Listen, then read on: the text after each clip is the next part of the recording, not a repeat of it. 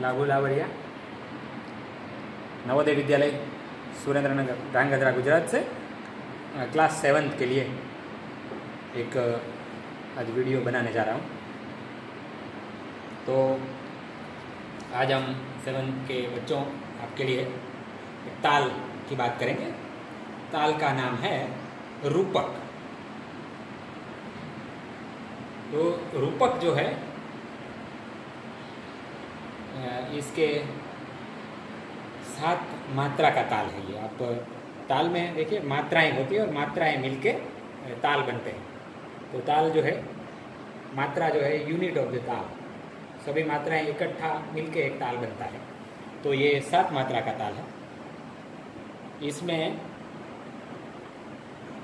पहले और जो तीन, इस खंड में इसको विभाजित किया गया है, सात मात्राओं को। तो तीन खंड है इसके और प्रत्येक खंड में क्रमशः तीन दो दो मात्रा है। यानी पहले खंड में तीन और बाकी के दो में दो दो मात्राएँ हैं।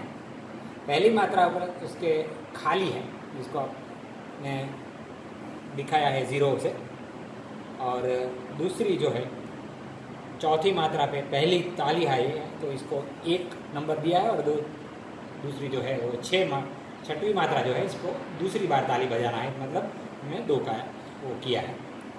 ये स्वर लिपि जो स्क्रिप्ट होती है इसके नियम होते हैं। इस प्रकार से इसको लिखा जाता है। तो ये है और इसको हम मात्राएँ गिन के हाथ से ताली बजा आ, के हमको पहले अभ्यास करवाते थे तो जब हम छोटे थे आप भी फ़िलहाल छोटे हैं तो इस प्रकार से इसका अभ्यास करना चाहिए। तो हम इससे इस प्रकार से देखते हैं। देखिए, एक, दो, तीन, एक का ये है, इसका मतलब है खाली है। एक, दो, तीन, चार, पाँच छ सात। एक, दो, तीन, चार, पाँच छ सात। इस प्रकार से एक, दो, तीन, चार, पाँच छ सात। तो ये है। अक्सर जो ताल है, उसमें पहली मात्रा पे हमेशा ताली ही आती है, लेकिन इसमें उल्टा है, इसमें खाली आती है। बाकी के तालों में ताली ही आती है और पहली मात्रा जो इसको सम बोलते हैं। लेकिन इसमें सम नहीं है, खाली है। तो ये है। और हम इसके बोल भी इस प्रकार से हाथ से ताली बजा के पहले सीखते थे।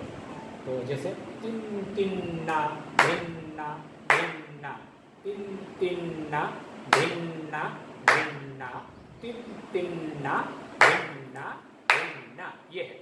इस प्रकार से इसको मात्रा गिन के बोले जाते हैं। अब इसको तबला को ज़रा लेते हैं इसको, थोड़ा खिसका के, और इस पर आपको सुनाते हैं। क्योंकि दरअसल जो है, बजना इसको इसी पर है, और इसके आधार पर सुन के हमको पता चलना चाहिए कि ये कौन सा ताल बज रहा है।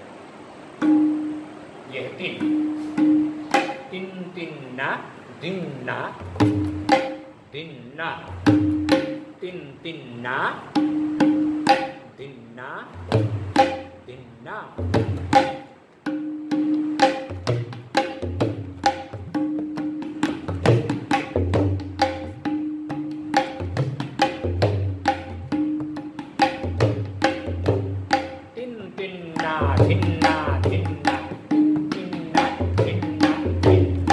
तो इस प्रकार से इसको बजाते हैं और इस ताल में बहुत सारे गानों की जो कॉम्पोजिशन है भक्ति में इसके गाने जो होते हैं इसमें ये ताल अधिक प्रयोग होता है। तो जैसे कि ये अ, हम सुने हैं श्री राम चंद्र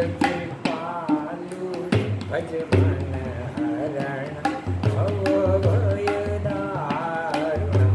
ये है तू ही राम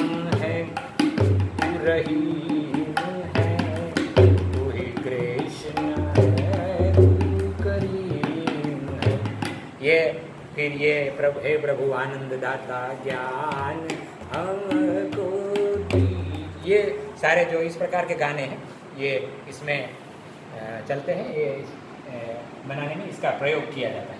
तो ये बड़ा प्यारा ही ताल है, बहुत अच्छा और सुगम संगीत, गज़लें इत्यादि में भी बजता है ये ताल और बहुत अच्छा लगता है सोफिस्टिकेटेड ताल है और आप इसको ज़रा देखिए, घर में अभ्यास करिए, सुनिए इसको, पहले देखिए और इसको मन में गुनगुनाइए, मात्राएँ गिनने का भी अभ्यास करिए और इसके बोल भी याद करने की कोशिश करिए और अपना ख्याल रखिए। Bye bye take care.